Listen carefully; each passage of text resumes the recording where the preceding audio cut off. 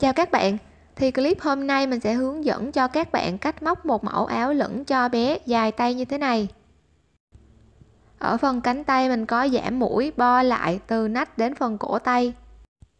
Viền và lai áo mình có viền họa tiết sò và trang trí hoa như thế này. Đây, mẫu áo lửng như thế này. Dụng cụ mình gồm len miêu cô tông. Ở đây mình sử dụng miêu cô tông loại 125g. Kim móc sử dụng kim móc 4.0 mm hoặc nếu không có mẫu kim này, các bạn cũng có thể sử dụng cho mình loại kim có đầu kim to gấp đôi sợi len nha. Ngoài ra còn có kéo cắt len. Bây giờ mình sẽ hướng dẫn móc phần thân trước.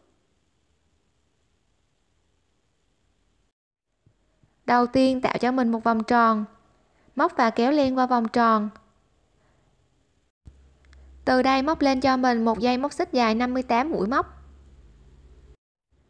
1 2 3 4 5 6 7 8 9 10 Sau khi móc được 58 mũi móc xích, tiếp tục lên 3 mũi móc xích. Sau đó móc vào chân móc thứ 58 một mũi kép đơn. Chân móc bên cạnh cũng móc một mũi kép đơn chân kế tiếp cũng móc một mũi kép đơn. Làm tương tự cho các chân móc còn lại cho đến khi ta được 8 mũi kép đơn liên tiếp với nhau. Kép đơn thứ tư. Kép đơn thứ năm. Kép đơn thứ sáu. Kép đơn thứ bảy. Và kép đơn thứ 8 ta được 8 mũi kép đơn liên tiếp với nhau vào 8 chân móc. Thì chân móc thứ 9 các bạn sẽ móc vào đây cho mình hai mũi kép đơn cùng chân móc.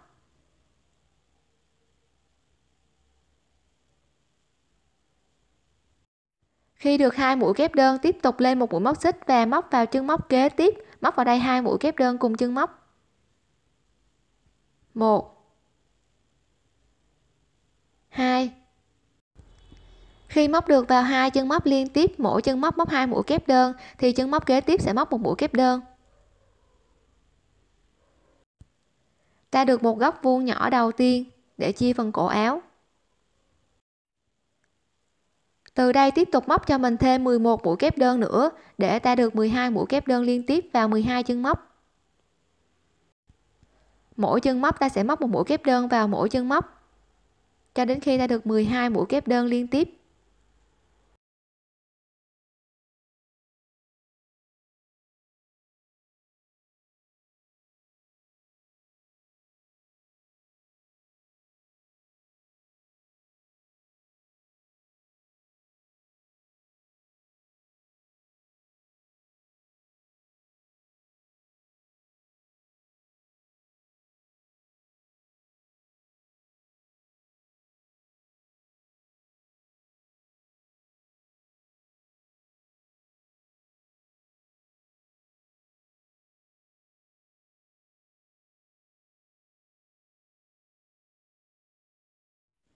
Sau khi được 12 mũi kép đơn liên tiếp vào mỗi chân móc, thì cái chân móc tiếp theo các bạn sẽ móc vào đây cho mình hai mũi kép đơn cùng chân móc. Một. Hai. Móc lên một mũi móc xích. Tiếp tục chân kế tiếp móc hai mũi kép đơn vào chân móc này. Một. Hai. Ta tạo thêm được góc vuông thứ hai ở phần cổ áo. Đây, tương tự như góc vuông ta vừa móc tương tự cho 12 chân móc kế tiếp, các bạn sẽ móc cho mình mỗi chân móc móc một mũi kép đơn vào mỗi chân móc. Cho đến khi ta được 12 mũi kép đơn liên tiếp nha.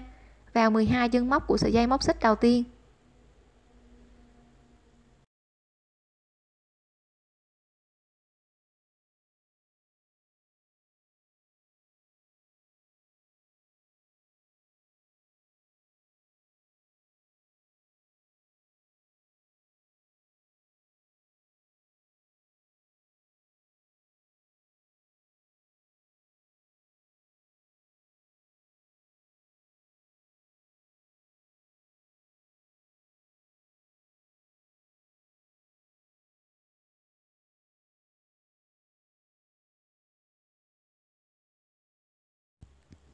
Khi được 12 mũi kép đơn liên tiếp, cũng tương tự móc thêm cho mình một góc vuông giống như các góc vuông mà ta vừa móc. Tức là hai chân móc kế tiếp, mỗi chân móc ta sẽ móc hai mũi kép đơn vào cùng một chân móc. Và giữa hai chân móc các bạn sẽ móc cho mình một mũi móc xích nha, để mình phân biệt chân này hai mũi kép đơn.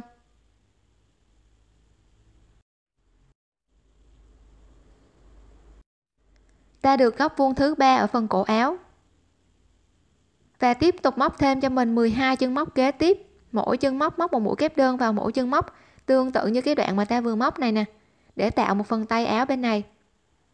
Móc cho mình 12 mũi kép đơn vào 12 chân móc liên tiếp.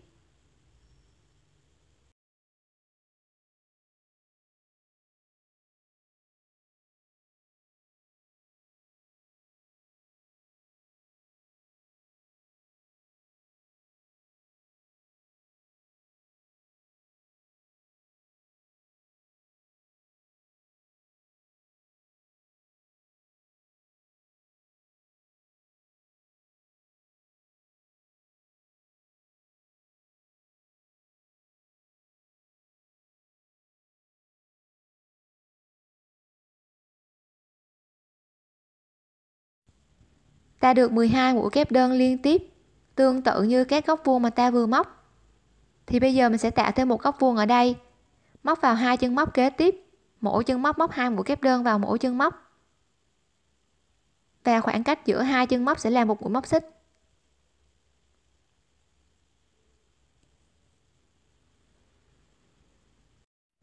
Ta được góc vuông thứ tư và cũng là góc vuông cuối cùng để tạo phần cổ áo nha các chân móc còn lại, mỗi chân móc ta sẽ móc một mũi kép đơn vào mỗi chân móc. Ta còn 8 chân móc cuối cùng. Mỗi chân móc các bạn sẽ móc cho mình một mũi kép đơn vào mỗi chân móc.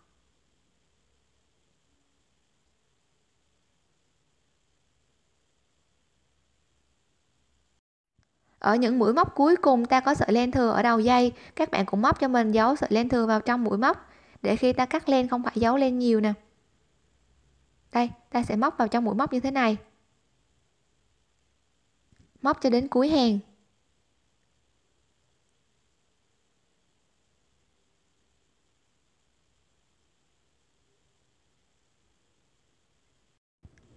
Như vậy là mình đã giấu được sợi len thừa vào trong mũi móc nè. Bây giờ mình sẽ hướng dẫn móc hàng móc thứ hai. Từ đây móc lên hai mũi móc xích.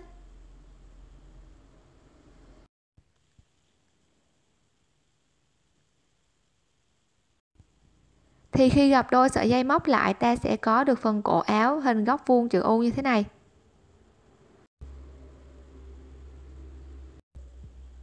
Đây, cổ áo của mình sẽ là hình vuông. Tổng số mũi móc ở hai nửa cạnh này sẽ nhiều hơn so với các cạnh còn lại nha. Để mình sử dụng cái điểm này cài nút ở đây nè.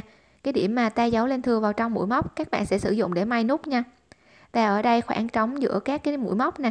Ta sẽ sử dụng các cái khoảng trống này để cài nút để sợi len thừa mình giấu đi, nó không có bị hở ra ngoài.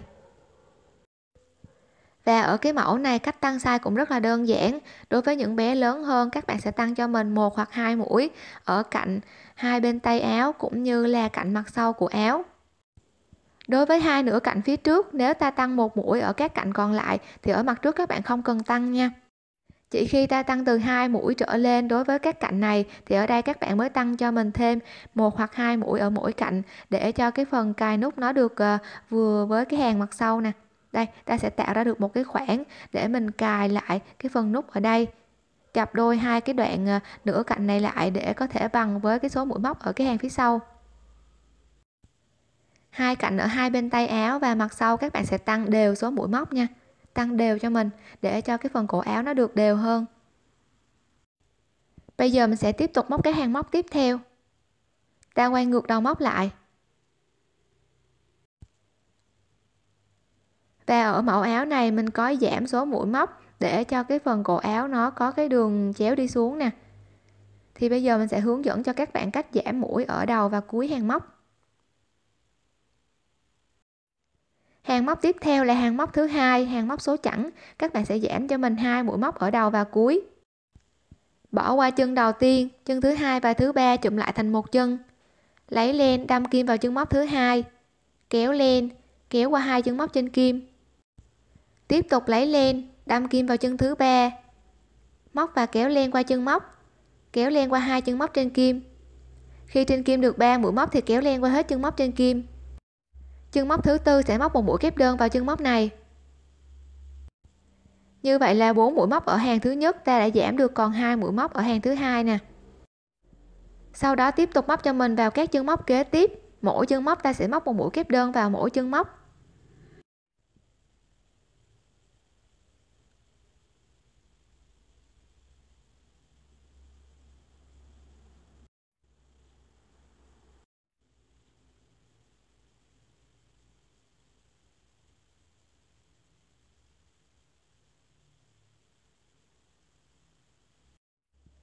Khi móc được các mũi kép đơn cho đến cái mũi móc xích ta gặp đầu tiên ở cái phần góc vuông đầu tiên của hàng thứ nhất nè, thì các bạn sẽ móc cho mình vào khoảng trống giữa cái góc vuông này. Đây, cái khoảng trống của cái mũi móc xích này nè. Móc vào đây cho mình một góc vuông. Và góc vuông ta gồm hai mũi kép đơn. Một, hai, sau đó lên một mũi móc xích và tiếp tục móc vào khoảng trống ta vừa móc hai mũi kép đơn nữa. Một 2 như vậy là ta vừa tạo ra được góc vuông thứ nhất ở hàng móc thứ hai. Ở chân móc kế tiếp, các bạn để ý cho mình nè. Đây sẽ là chân móc kế tiếp. Chân móc này, thẳng hàng sẽ là cái mũi móc ở đây. Thì độ dày của góc vuông mà ta vừa móc, nó sẽ giúp che đi cái mũi móc đầu tiên của cái hàng móc tiếp theo ở phần tay áo. Đây, che đi mũi móc đầu tiên của cái hàng thứ nhất. Thì các bạn sẽ bỏ qua chân móc đầu tiên và móc vào chân thứ hai một mũi kép đơn. Chân bên cạnh cũng móc một mũi kép đơn. Đây, khi móc độ dày của cái góc vuông này, nó sẽ giúp che đi cái mũi móc đầu tiên nè, nó sẽ không có tạo cái độ hở ở đây, để tạo cái góc vuông của hàng móc thứ hai. Tiếp tục móc vào các chân móc kế tiếp, mỗi chân móc ta sẽ móc một mũi kép đơn vào mỗi chân móc, cho đến góc vuông tiếp theo mà ta gặp nha.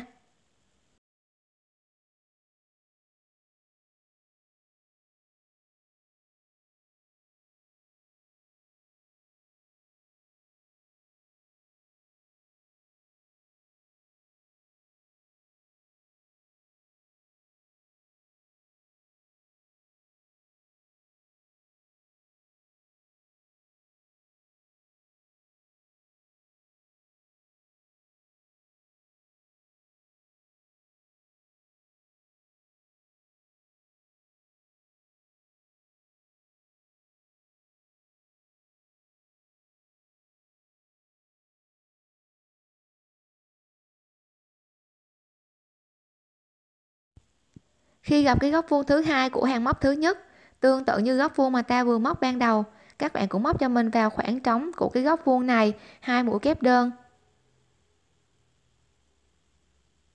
Một. Hai. Móc lên một mũi móc xích và tiếp tục móc vào đó hai mũi kép đơn nữa.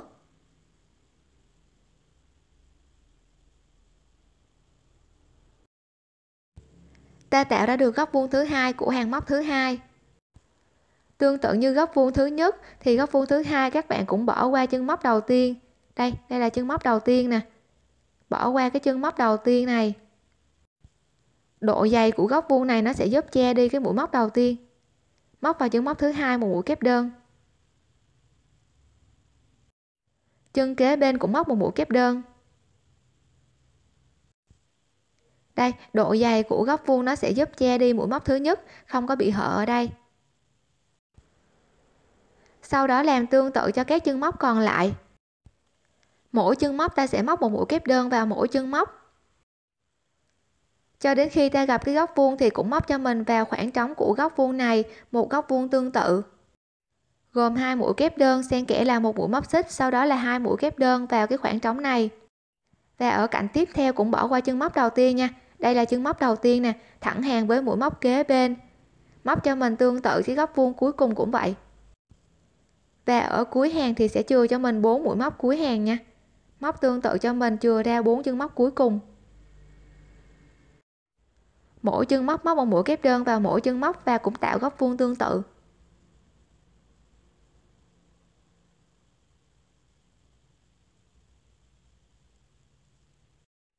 Ở bốn chân móc cuối cùng, các bạn cũng chụm lại cho mình thành hai chân móc tương tự tức là hai chân kế bên này chụm lại thành một chân và hai chân cuối cùng cũng chụm lại thành một chân. Đây, ở đầu dây bên này bốn mũi cũng chụm lại thành hai mũi. Thì ở cuối hàng ta sẽ chụm hai mũi liên tiếp thành một mũi. Lấy len và đâm kim lần lượt vào hai chân móc. Kéo len qua hai chân móc. Lấy len đâm kim vào chân móc. Kéo len kéo qua hai chân móc trên kim. Khi trên kim được 3 mũi móc thì kéo len qua hết chân móc trên kim sau đó làm tương tự cho hai chân móc còn lại, cũng chụm lại cho mình thành một chân, lấy len và đâm kim lần lượt vào hai chân móc. Lấy len, đâm kim vào chân cuối cùng, kéo len, kéo qua hai chân móc trên kim, sau đó kéo len qua ba chân móc trên kim. Như vậy là bốn mũi của hàng đầu tiên ta chụm lại được thành hai mũi ở hàng thứ hai nè. Từ đây tiếp tục lên hai mũi móc xích và quay ngược đầu móc lại ở hàng móc tiếp theo sẽ là hàng móc thứ ba, hàng móc số lẻ. Hàng móc số lẻ các bạn sẽ giảm cho mình một mũi ở đầu và cuối hàng móc thôi nha. Tức là ta sẽ bỏ qua chân móc đầu tiên và móc cho mình vào chân móc thứ hai á. Bỏ qua chân đầu tiên và móc vào chân thứ hai một mũi kép đơn. Sau đó móc tiếp vào các chân móc còn lại. Mỗi chân móc ta sẽ móc một mũi kép đơn vào mỗi chân móc.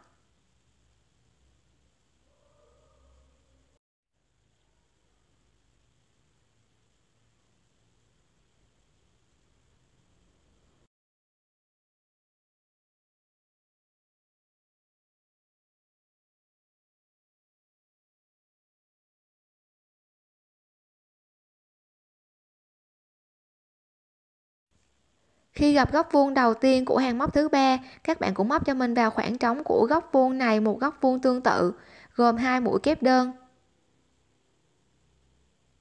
Một. Hai. Móc lên một mũi móc xích. Tiếp tục hai mũi kép đơn vào khoảng trống ta vừa móc. Một. Hai.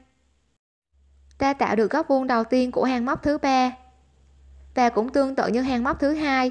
Các bạn cũng bỏ qua chân kế bên và móc vào chân móc kế tiếp. Đây, bỏ qua chân kế bên và móc vào chân kế tiếp một mũi kép đơn. Chân bên cạnh cũng móc một mũi kép đơn. Độ dày của cái góc vuông này nó sẽ giúp che đi khoảng trống của cái mũi ta bỏ nè. Sau đó làm tương tự cho các chân móc còn lại. Ở mỗi góc vuông cũng tạo cho mình một góc vuông tương tự và tiếp tục móc các cái cạnh còn lại cũng bỏ qua chân đầu tiên và móc vào chân kế bên nha. Móc tương tự cho mình cho đến cuối hàng. Ở cuối hàng sẽ chừa ra cho mình hai mũi móc để ta giảm một mũi móc ở cái đầu móc này.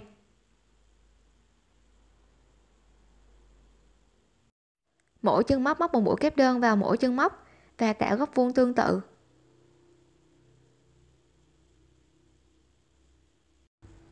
Ở hai chân móc cuối cùng, các bạn sẽ tiến hành chụm lại thành một chân ta lấy len và đâm kim lần lượt vào hai chân móc.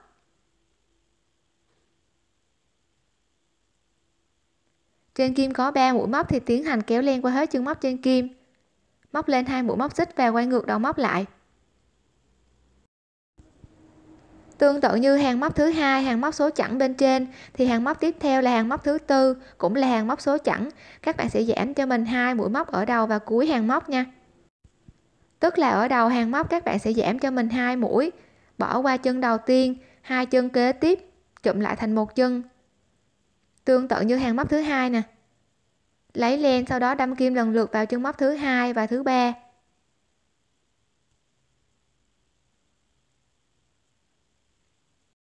Kéo len qua ba chân móc trên kim. Sau đó chân móc thứ tư cũng móc một mũi kép đơn vào chân móc này. Ta giảm được hai mũi móc đây 4 mũi giảm thành hai mũi phía trên. Tương tự như hàng móc thứ hai ở bên trên này. Sau đó làm tương tự cho mình các chân móc còn lại. Mỗi chân móc móc một mũi kép đơn vào mỗi chân móc.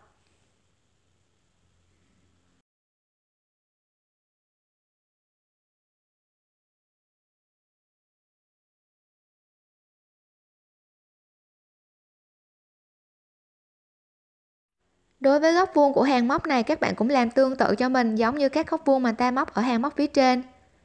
Tức là cũng móc cho mình hai mũi kép đơn. Móc lên một mũi móc xích. Tiếp tục móc vào khoảng trống ta vừa móc hai mũi kép đơn nữa.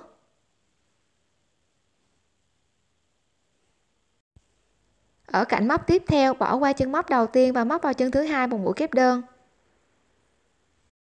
Chân bên cạnh cũng móc một mũi kép đơn làm tương tự cho các chân móc còn lại cho đến cuối hàng. Ở cuối hàng cũng chừa ra cho mình 4 mũi móc. Hàng móc số chẵn chừa ra 4 mũi móc, để ta chụm lại 4 mũi thành hai mũi ở hàng tiếp theo. Đây, chừa ra 4 mũi móc cuối cùng này để chụm lại thành hai mũi ở hàng phía trên.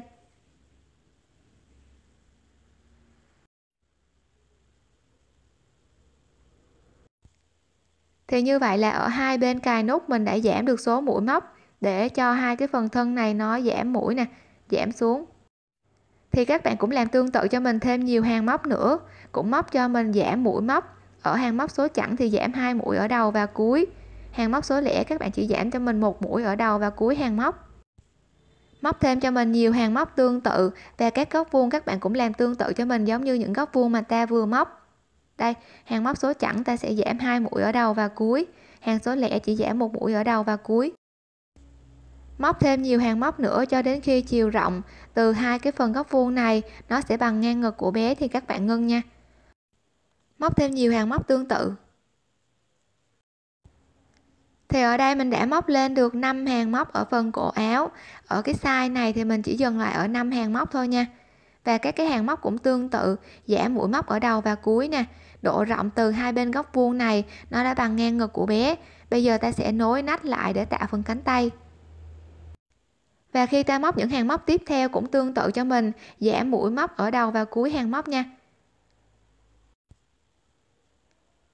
Tiếp tục lên một mũi móc xích. Quay ngược đầu móc lại. Hàng móc nối nách tiếp theo sẽ là hàng móc số chẵn. Các bạn cũng tương tự cho mình, giảm hai mũi ở đầu. Tức là bỏ qua chân đầu tiên và hai chân móc thứ hai và thứ ba chụm lại thành một chân.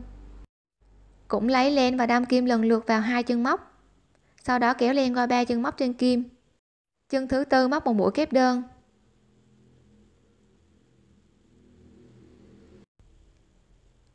Bốn mũi móc ta giảm được hai mũi móc ở hàng phía trên. Sau đó móc tương tự cho các chân móc còn lại. Mỗi chân móc móc một mũi kép đơn vào mỗi chân móc cho đến góc vuông đầu tiên mà ta gặp.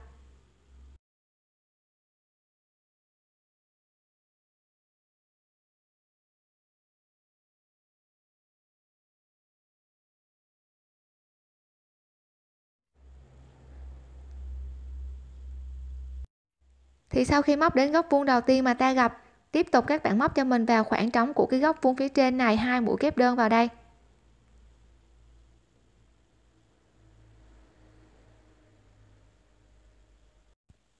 Từ đây móc lên cho mình 3 mũi móc xích.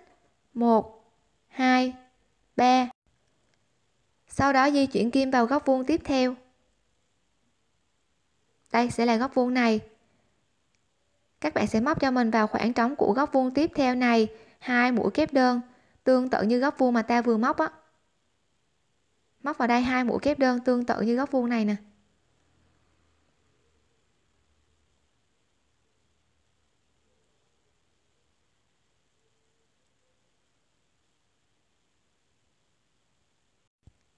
Ta tạo được khoảng trống của cánh tay đầu tiên.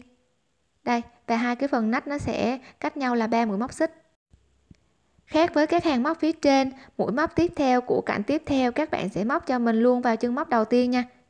Khác với cái hàng móc phía trên là ta bỏ chân móc đầu tiên, thì ở đây các bạn móc luôn cho mình vào chân móc đầu tiên.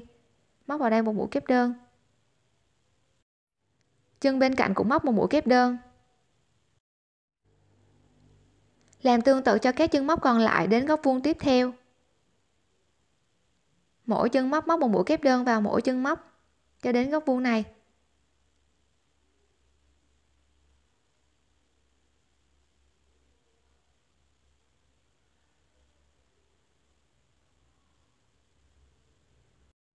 Ở góc vuông tiếp theo mà ta gặp, các bạn cũng làm tương tự cho mình, giống như góc vuông mà ta vừa móc. Cũng móc vào đó hai mũi kép đơn.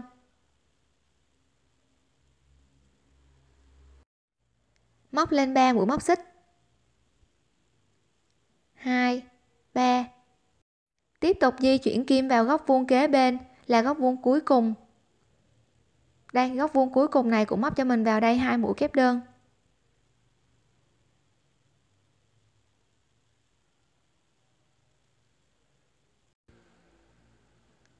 Tương tự như cái góc vuông này cũng móc cho mình vào chân móc đầu tiên của cạnh tiếp theo một mũi kép đơn. Sau đó móc tiếp vào các chân móc còn lại. Mỗi chân móc móc một mũi kép đơn vào mỗi chân móc. Và hàng móc số chẵn nên sẽ chừa cho mình 4 mũi móc cuối cùng để chụm lại thành hai mũi ở phía trên.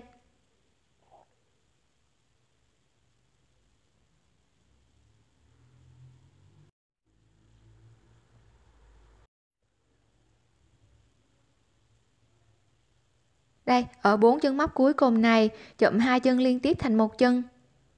Lấy len và đâm kim lần lượt vào hai chân móc sát bên. Sau đó kéo len qua ba chân móc trên kim. Tiếp tục chụm lại hai chân móc cuối cùng thành một chân. Lấy len và đâm kim lần lượt vào hai chân móc. Sau đó kéo len qua ba chân móc trên kim.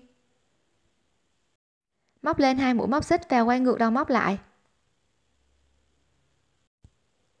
Hàng móc tiếp theo là hàng móc số lẻ, thì các bạn sẽ giảm cho mình tương tự như các hàng móc ở phía trên, cũng giảm một mũi ở đầu và cuối hàng móc. Tức là ta sẽ bỏ mũi đầu tiên và móc vào chân kế bên một mũi kép đơn. Bỏ chân này và móc vào chân này một mũi kép đơn.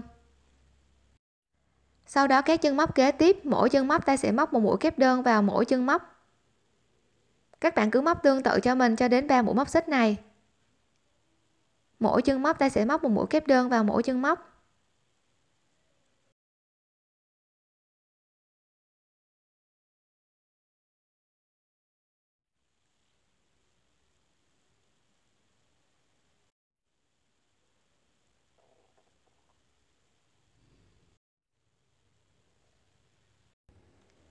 Ba mũi móc xích ở phần nách này cũng móc cho mình vào ba chân móc này. Mỗi chân móc móc một mũi kép đơn vào mỗi chân móc. Móc cho mình vào ba chân móc nha. Mỗi chân móc ta để móc một mũi kép đơn vào mỗi chân móc.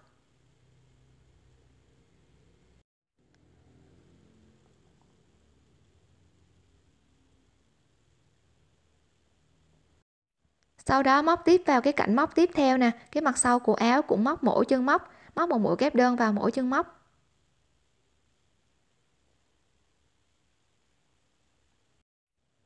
Tương tự cho các chân móc còn lại.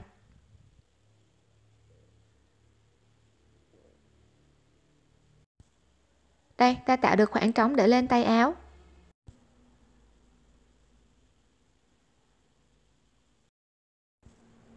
Đây sẽ là độ rộng của phần ngực nè sau đó móc thêm cho mình nhiều hàng móc tương tự như hàng móc mà ta vừa móc. Ở đầu mỗi hàng móc hàng móc số chẵn sẽ giảm hai mũi đầu và cuối. Còn ở hàng móc số lẻ thì chỉ giảm một mũi ở đầu và cuối. Móc thêm nhiều hàng móc tương tự như hàng móc mà ta vừa móc, cho đến khi chiều dài từ vai xuống hàng móc cuối cùng, bằng với cái phần ngực của bé hoặc là qua ngực của bé thì các bạn ngưng. Cũng thêm cho mình nhiều hàng móc tương tự và cũng giảm mũi ở đầu và cuối hàng móc nha và lưu ý cho mình hàng móc số chẵn, số lẻ sẽ giảm số mũi khác nhau. Đây, ta sẽ móc thêm nhiều hàng móc tương tự. Thì cách tăng size ở phần cổ áo mình cũng có đề cập ở đầu clip. Thì cái phần thân áo các bạn sẽ thêm cho mình nhiều hàng móc tương tự, như cái hàng móc mà ta móc đây nè. Móc thêm nhiều hàng móc cho đến khi cái độ rộng từ hai cái điểm này nó bằng ngang ngực của bé thì các bạn ngưng và ở cái phần chiếc nách này, các bạn sẽ thêm cho mình nhiều mũi móc nữa đối với những bé lớn hơn để cái phần nách này nó tạo cái phần cánh tay rộng hơn nè, móc thêm nhiều hàng móc tương tự.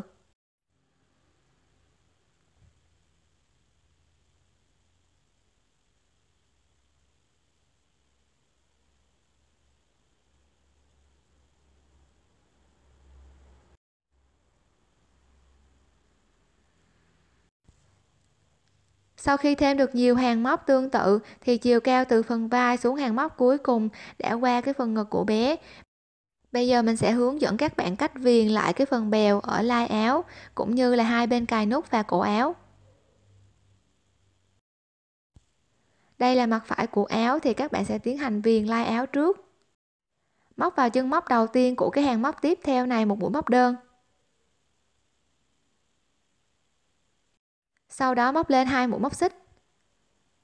Móc vào chân móc ta vừa móc mũi đơn, móc vào đây cho mình một mũi kép đơn. Ở phần lai áo, bỏ qua chân móc kế bên. Và móc vào chân móc kế tiếp á, các bạn sẽ bỏ qua chân kế bên và móc vào chân kế tiếp một mũi móc đơn. Đã tạo được một họa tiết viền đầu tiên. Từ đây tiếp tục lên hai mũi móc xích tương tự móc vào chân móc, ta vừa móc một mũi kép đơn.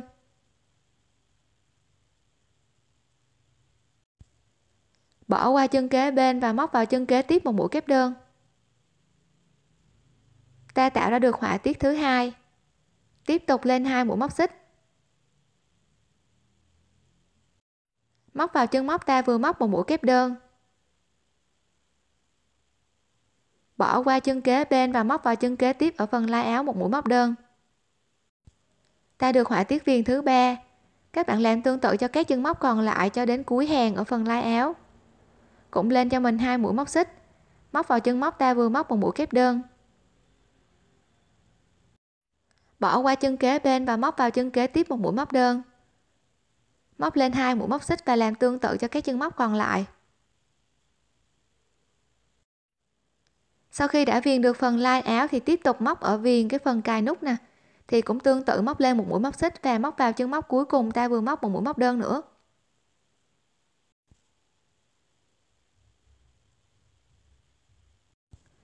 Tương tự như phần lai áo ở phía dưới, cũng móc lên hai mũi móc xích. Móc vào chân móc, ta vừa móc một mũi kép đơn. Phần lai áo này các bạn sẽ móc cho mình vào chân móc kế tiếp của hàng móc phía trên, móc vào đây một mũi móc đơn ta tạo được một họa tiết viền. Tiếp tục lên hai mũi móc xích. Móc vào chân móc ta vừa móc một mũi kép đơn. Di chuyển kim đến chân móc tiếp theo của hàng móc phía trên và móc vào đây một mũi móc đơn. Ta được họa tiết thứ hai. Móc lên hai mũi móc xích. Tương tự móc tiếp vào đó một mũi kép đơn. Sau đó di chuyển kim vào chân móc kế bên của hàng móc phía trên và móc một mũi móc đơn. Các bạn làm tương tự cho các chân móc còn lại cho đến chân móc cuối cùng của cái phần cài nút này. Cũng lên hai mũi móc xích và móc vào đó một mũi kép đơn. Sau đó móc vào chân kế tiếp của hàng móc phía trên một mũi móc đơn. Và làm tương tự cho đến cuối hàng.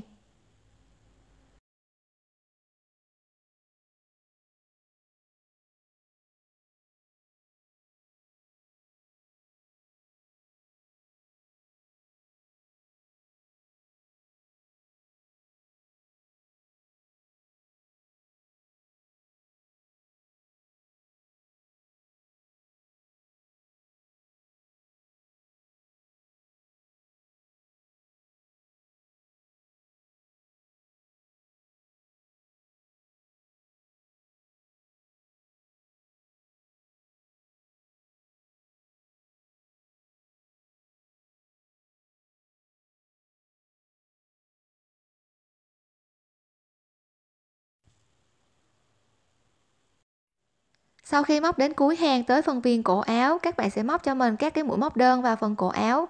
Ta sẽ không tạo các họa tiết trang trí nha. Móc cho mình vào chân móc kế bên nè, một mũi móc đơn. Chân kế tiếp cũng móc một mũi móc đơn. Chân bên cạnh cũng móc một mũi móc đơn. Sau đó làm tương tự cho các chân móc còn lại, cho đến đầu bên này. Mỗi chân móc ta sẽ móc một mũi móc đơn vào mỗi chân móc.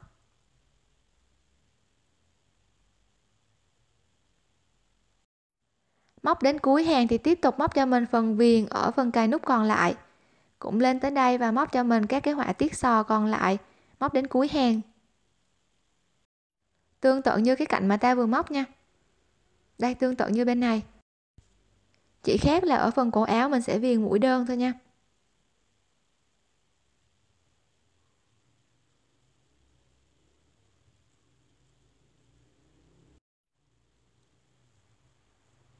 sau khi viền đến cuối hàng thì chân móc cuối cùng cũng móc một mũi móc đơn vào chân móc này. Sau đó móc tiếp vào chân móc mũi đơn đầu tiên mà mình viền một mũi dời. Móc lên một mũi móc xích, kéo và cắt len. Tiến hành giấu sợi len thừa ra phía sau mũi móc. Thì sau khi giấu len thừa vào trong mũi móc, ở đây mình có móc sẵn một bên tay áo như thế này thì cái phần tay áo này, ở phần nách nó có cái độ rộng để vừa với phần nách của bé rồi nè. Thì bây giờ để cái phần tay áo nó có cái độ rộng giảm lại, các bạn sẽ tiến hành móc cho mình giảm mũi ở đầu hàng móc. Và ở đây mình sẽ hướng dẫn cho các bạn cách làm sao để giảm mũi cho cánh tay của mình nó được đều hơn. Ở sợi dây này tạo cho mình một nút, móc và kéo len qua vòng tròn. Dùng tay kéo sợi len dài để thành một nút ta sẽ bắt đầu hàng móc ở cái phần nách. Đây, ở cái phần nách này, thì mục đích ta bắt đầu hàng móc ở phần nách này để khi ta giảm mũi ở các hàng móc tiếp theo, cái phần giảm mũi này nó sẽ nằm ở phía trong nè, nó không có bị hở ở phía ngoài. Ta sẽ đâm kim vào chân móc của ba mũi móc xích này nè, ba mũi móc xích và cái đoạn à, chân móc đầu tiên của cái hàng móc phía trên này, các bạn sẽ đâm kim cho mình vào chính giữa. Sau đó kéo nút mình vừa tạo qua chân móc. Móc lên hai mũi móc xích. Móc vào ba chân móc ở phần nách, mỗi chân móc móc một mũi kép đơn vào mỗi chân móc.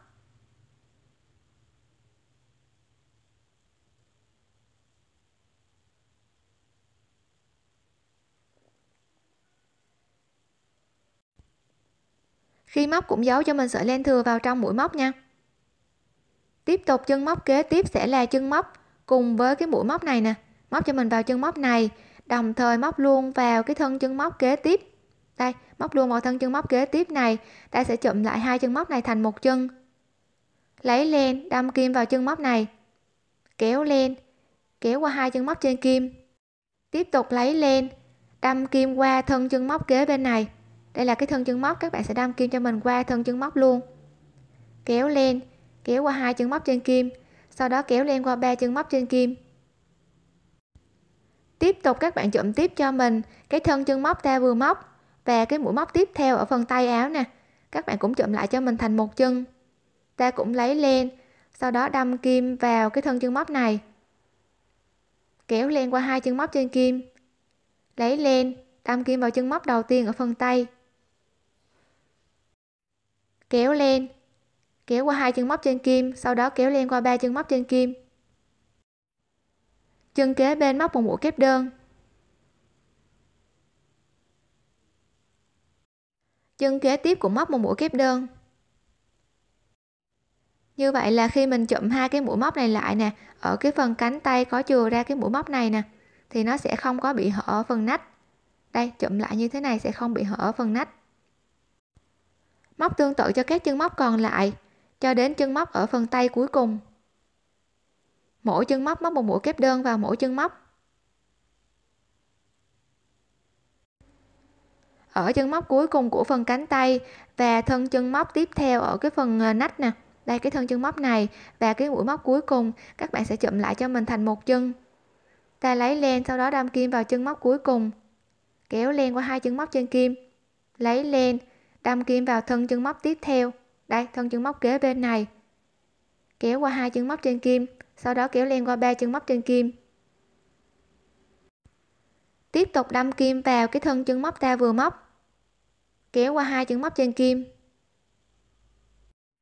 Đồng thời lấy len và đâm kim vào chân móc đầu tiên để ta gây nên phần tay áo nè. Đâm kim vào chân móc này và móc vào đây một mũi. Kéo len qua hai chân móc trên kim, sau đó kéo qua ba chân móc trên kim. Móc vào chân móc đầu tiên của hàng móc này một mũi dời móc lên hai mũi móc xích. Thì như vậy là độ rộng của phần cánh tay ở bên trên nè, nó có cái độ rộng như thế này. Bây giờ để giảm mũi cho cái hàng móc phía dưới, để cho cái phần cánh tay nó ôm sát vào tay của bé, thì ta sẽ tiến hành giảm mũi ở cái hàng móc tiếp theo.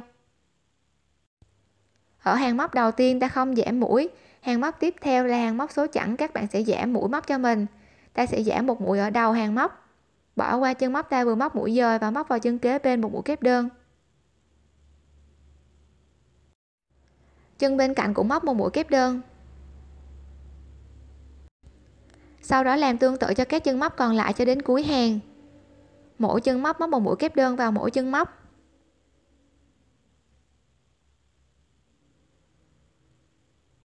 Khi móc đến cuối hàng, tiếp tục móc vào chân móc đầu tiên của hàng móc này một mũi dời. Móc lên hai mũi móc xích hàng móc thứ ba, hàng móc số lẻ, các bạn sẽ không giảm mũi cho mình. Mà móc luôn vào chân móc đầu tiên, ta vừa móc mũi dời nè. Các bạn sẽ móc luôn cho mình vào đó một mũi kép đơn. Móc vào đây một mũi kép đơn. Sau đó tiếp tục móc vào các chân móc kế tiếp. Mỗi chân móc móc một mũi kép đơn vào mỗi chân móc đến cuối hàng.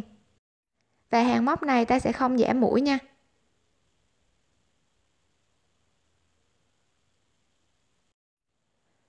Móc đến cuối hàng thì móc vào chân móc đầu tiên một mũi dời. Móc lên hai mũi móc xích. Hàng móc thứ tư là hàng móc số chẵn ta sẽ giảm một mũi ở đầu hàng móc, tương tự như hàng móc thứ hai.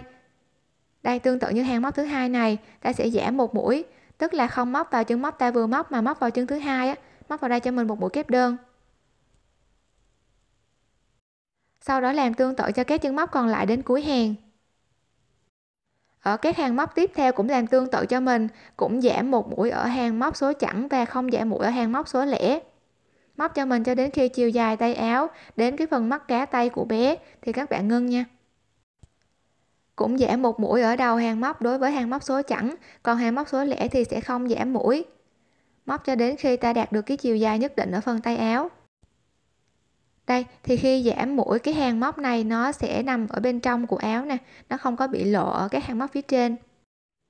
Và khi móc được cái phần tay áo này xong, ở cuối hàng móc, các bạn sẽ móc cho mình viền lại cái phần cổ tay. Tức là ta sẽ móc mũi đơn để viền lại phần cổ tay. Tương tự cho cánh tay ta đang móc cũng vậy nha. Cũng giảm cho mình một mũi ở đầu hàng móc đối với hàng móc số chẵn. Sau đó móc thêm nhiều hàng móc tương tự và viền ở hàng móc cuối cùng bằng mũi đơn đây, hàng móc số chẵn thì giảm mũi, còn hàng móc số lẻ ta không giảm mũi. Móc thêm nhiều hàng móc tương tự.